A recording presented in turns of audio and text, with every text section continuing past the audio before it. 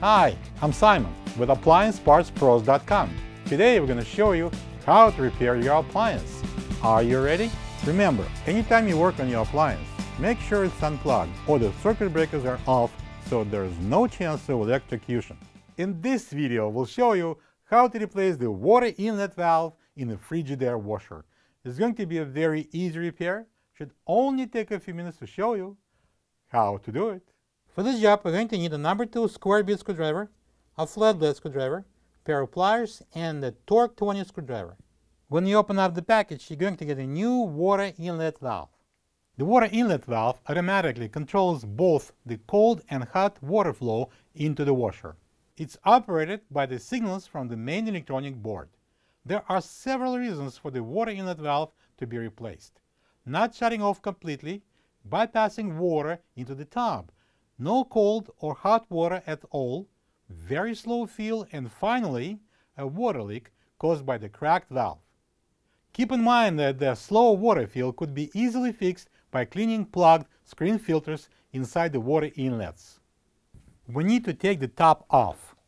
Using the number 2 square bit screwdriver, unscrew the two screws at the back of the top panel, pull the panel back slightly, and lift it off the washer. Press the tab and unplug the power cord connector. Remove the green ground wire. Using the pliers, squeeze the tab and push it in to disconnect the power cord from the bracket. Next, using the number 2 square bit screwdriver, remove 5 screws, 2 on the top and 3 at the back and take the rear mounting bracket off the cabinet. Using the same screwdriver, take out the single screw on the right and remove the drain hose retainer and put it aside. Using the same number 2 square bit screwdriver, take the screws that holds the control board out. Next we need to remove the rear panel. There's a bunch of screws.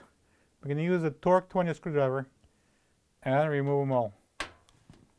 Be patient.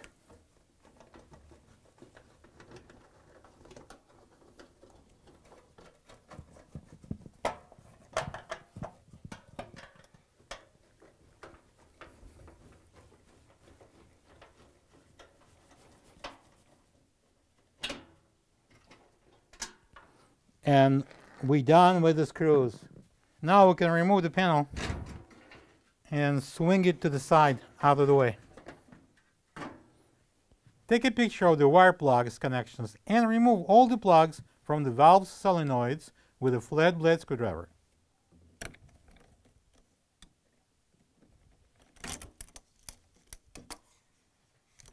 The water inlet valve is attached to the dispenser housing by three screws. Using the screwdriver with a number 2 square bit, remove the screws and take the water inlet valve out.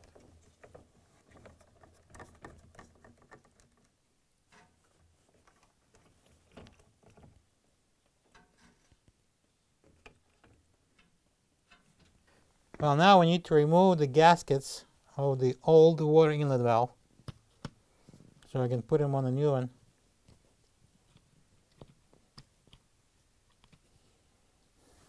This is the old water inlet valve next to the new one. If you don't have this part, you can get it from appliancepartspros.com. And now we're going to put the gaskets onto the new water inlet valve. Push them in so it will go into the groove inside.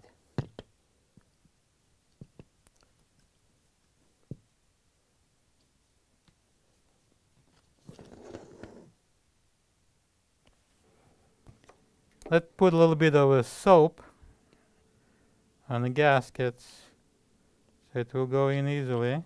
Now we're going to spread them around. Yep, just like that.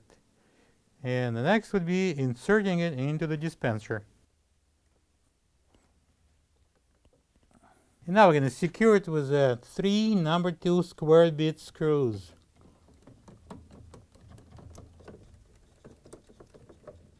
And now let's connect the wire plugs to the solenoids. If you don't remember how they were, you can always check with the picture that you supposedly took earlier.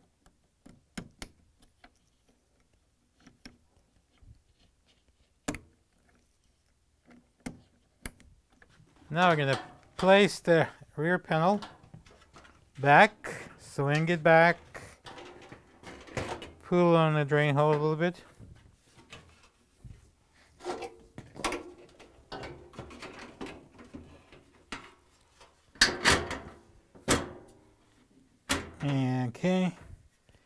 Align the holes on the top here. So now we can secure it with the screws. I'll just put a couple of screws on each side.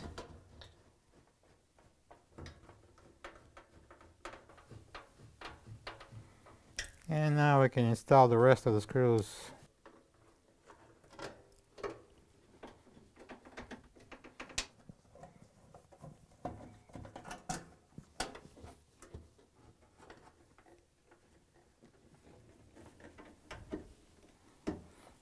Now we're gonna attach the motor control board. Alright, so we're gonna put two number two square bit screws in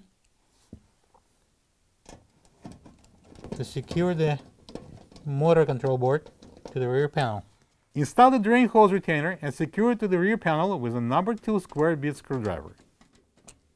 Now we can put the rear mounting bracket back and secure it with the screws using the same number two square bit screwdriver.